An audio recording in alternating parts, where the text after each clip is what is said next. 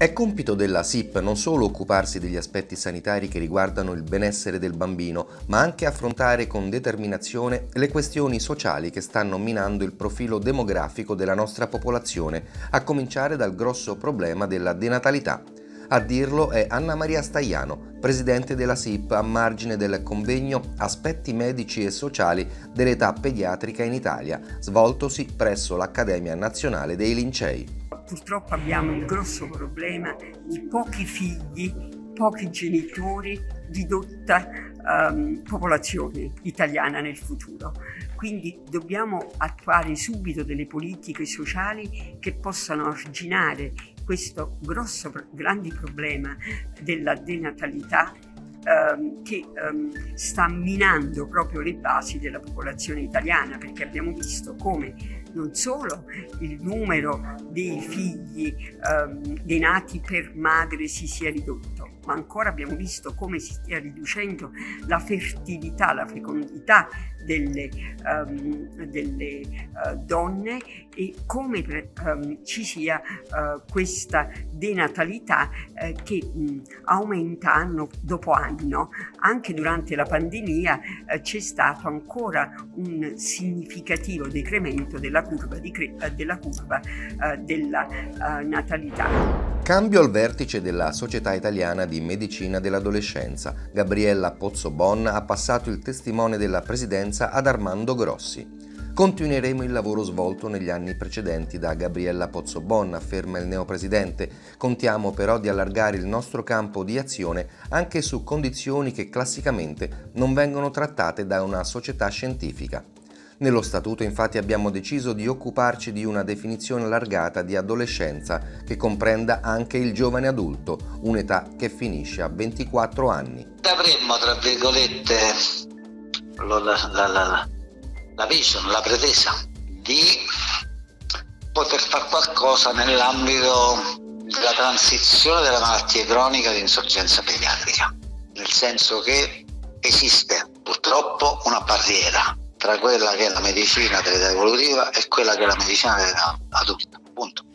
Eh, tanti pazienti che da bambini hanno insorgenza di patologie che poi verranno mantenute e trasferite nell'età adulta, se trovano da bambini un case manager, da adulto difficile che lo trovino.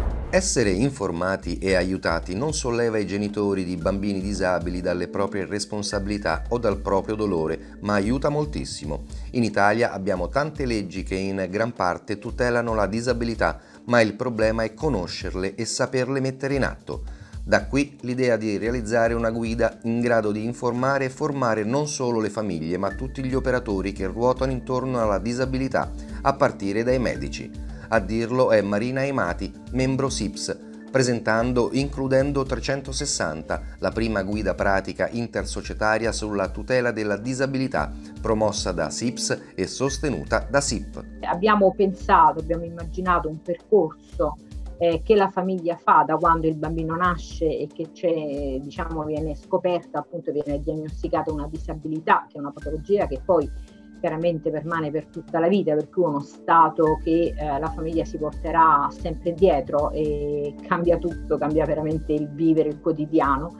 E eh, pertanto abbiamo pensato di eh, fare questa guida mh, cercando di aiutare, di dare delle indicazioni ai genitori, soprattutto su cosa fare iniziando per esempio ad andare dal pediatra, da chi, a chi rivolgersi, chi può aiutarti all'inizio, chi può spiegarti che cosa ti sta accadendo, perché eh, chiaramente io un, una cosa a cui mh, preciso sempre che quando c'è una disabilità in famiglia, la famiglia diventa tutta uh, disabile, tra virgolette, nel senso che chiaramente tutte le, quelle che sono uh, le abitudini e eh, le programmazioni che si fanno per il futuro devono essere adeguate sicuramente alla persona che è più fragile. L'Italia è tra i paesi al mondo dove si nasce meglio con tassi di mortalità neonatale bassissimi.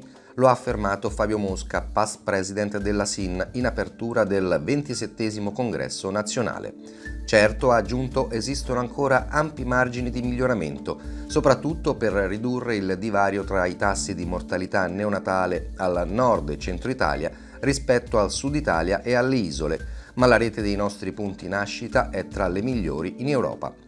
La SIN ha appena portato a termine un importante progetto di standard organizzativi per l'assistenza perinatale, coordinati da Rinaldo Zanini, che ha visto la partecipazione delle principali società scientifiche dell'area materno-infantile, con l'obiettivo di revisionare ed aggiornare gli standard organizzativi dell'assistenza perinatale in termini di risorse umane, strutturali e tecnologiche, con un approccio finalizzato prioritariamente alla maggior sicurezza possibile della diade madre-neonato. Il 40% di tutte le malattie rare, secondo il Registro Nazionale delle Malattie Rare dell'ISS, colpisce l'età pediatrica e in questo ambito la parola chiave è condivisione. Dobbiamo condividere conoscenze, informazioni scientifiche, dati dei pazienti con il consenso informato e la possibilità di avviare attività di squadra con i colleghi a livello interdisciplinare e multidisciplinare. Dobbiamo condividere il know-how dal sospetto diagnostico alle più raffinate terapie. A dirlo è Domenica Taruscio, direttrice del Centro Nazionale Malattie Rare dell'ISS. Una malattia rara è pochissimo conosciuta, poi addirittura ci sono quelle rarissime, quindi non tutti, anzi pochissimi sono gli esperti a livello nazionale internazionale. In questa modalità di condivisione anche attraverso i mezzi di eh, e-health per esempio, attraverso piattaforme tecnologiche innovative, si muovono le conoscenze, quindi si facilita proprio la condivisione dei dati senza far spostare lo, il paziente da una città all'altra, da un paese all'altro, addirittura da un continente all'altro. Quante sono le malattie rare senza diagnosi? Sono circa il 20% di tutte le malattie rare, quindi sono un numero notevole e proprio per far fronte a questo abbiamo proprio creato, istituito un network internazionale per lo studio delle malattie senza diagnosi. Questo network è costituito dalla libera associazione di ricercatori, medici, bioinformatici, biologi, ma anche pazienti di 39 paesi in tutti i continenti del mondo e questo ha fatto fare veramente un salto di qualità per studiare, fare diagnosi, ma anche fare ricerca su queste patologie. Per tutte le notizie consultate il sito dire.it.